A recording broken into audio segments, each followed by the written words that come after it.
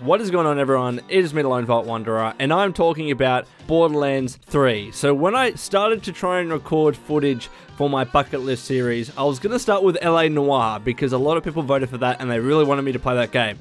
And it turns out LA Noire on some PCs that operate Windows 10 just won't work, and it hasn't been resolved yet. So, there was this little game that I picked up in its place, which is called Borderlands. And I am a huge fan of the Borderlands series. I've played Borderlands 1, Borderlands 2 a number of times both throughout, and also a little bit of the pre sequel, but mostly just the first game and the second game.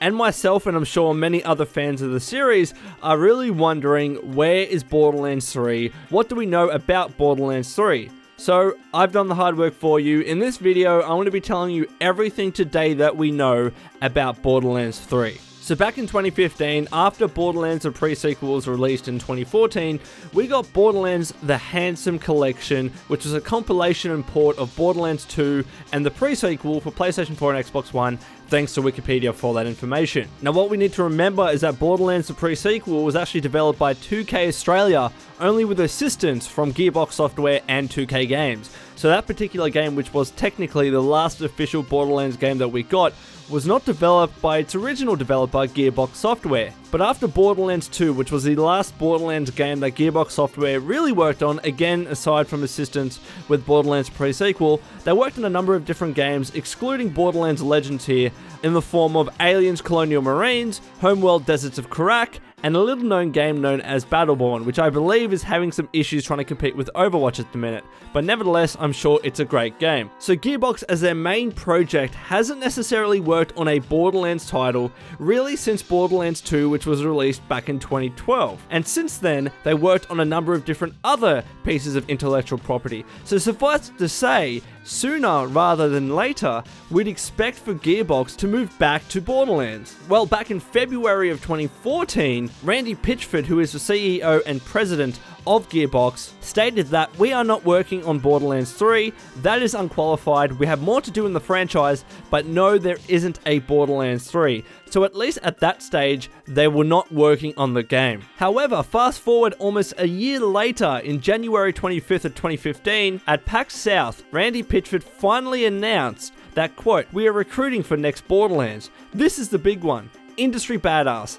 email me, heyrandy at gearboxsoftware.com. We want to hear from passionate and talented people to help us with the next Borderlands game. Check our website. So, as far as I could see, it was January of 2015 that Randy Pitchford and Gearbox itself officially announced that it was beginning work on Borderlands 3. But of course, at the time, it was still working on Homeworld and it was still working on Battleborn, which were both released this year. And then around a week later, after that official announcement of Gearbox working on Borderlands 3, there was speculation as to whether Borderlands 3 would be developed as well for the Xbox 360 and PlayStation 3 on top of Xbox One and PS4. However, the president of Take Two, Karl Slatoff, said that the next Borderlands game is being developed, quote, specifically for next gen consoles, in the form of the Xbox One and the PlayStation 4. And he dropped this quote specifically during an earnings call following the company's financial report. So, what did we know at that stage? We knew that one, Gearbox was looking at recruiting for Borderlands 3, maybe not necessarily developing, perhaps concepting or pre planning or even planning itself, but not necessarily that they had started straight development of the game, although they would have at least started some sort of work on it. And then it was clarified that this game would only be released on then next gen consoles in the form of the Xbox One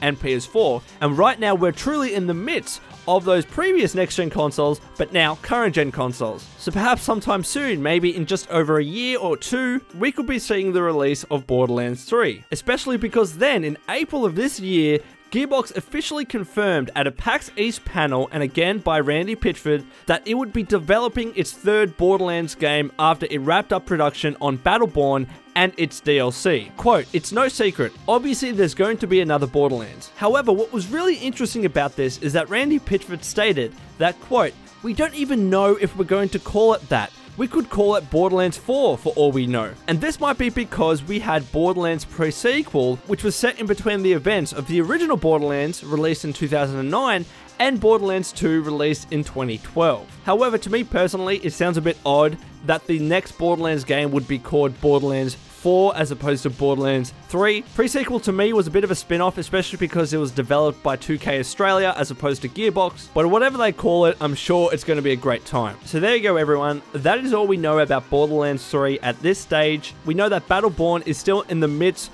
of its DLC release and rollout, so we're probably not going to be seeing anything about Borderlands 3 probably within the next year. My personal prediction is that we're going to be seeing more about Borderlands 3 at next year's E3. We know that Take-Two Interactive focused on Mafia 3 at E3 this year, so perhaps Borderlands 3 is going to be the focus for them at next year's E3, although it still seems unlikely in my opinion that we'll see the game actually released next year. Perhaps they'll talk about it at E3 of next year in terms of a teaser or a small trailer, but aside from that, I don't think we're going to be getting anything more, especially because currently Gearbox Software is also working on Duke Nukem and Brothers in Arms. So they seem like they have a busy schedule at this minute, but if I had to put a really rough prediction on it now. I'm going to say that we're going to hear more about Borderlands 3 at next year's E3, and if we don't get a late 2017 release, we'll probably get a release in 2018. So anyways, guys and girls, I would love to get your thoughts about Borderlands 3. Are you excited for it? Do you think we're going to be hearing more information about the game sometime soon, or perhaps next year? When do you think the game is going to be released? All that good stuff. Let me know in the comments below. And until next time, this has been the Lone Vault Wanderer. Please take care of yourself, and as always, keep fighting the good fight.